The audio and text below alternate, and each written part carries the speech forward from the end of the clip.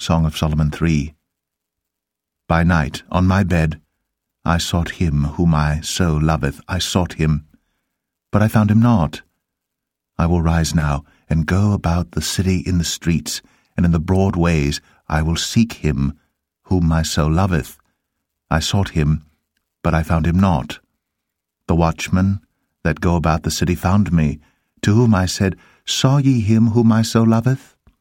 It was but a little that I passed from them.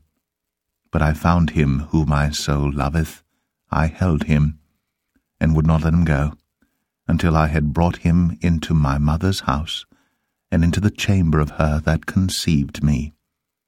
I charge you, O ye daughters of Jerusalem, by the roes and by the hinds of the field, that ye stir not up nor awake my love till he please. Who is this that cometh out of the wilderness? Like pillars of smoke, perfumed with myrrh and frankincense, with all powders of the merchant. Behold his bed, which is Solomon's. Threescore valiant men are about it, of the valiant of Israel.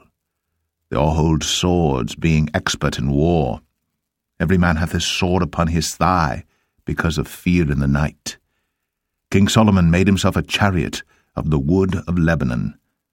He made the pillars thereof of silver, the bottom thereof of gold, the covering of it of purple, the midst thereof being paved with love, for the daughters of Jerusalem.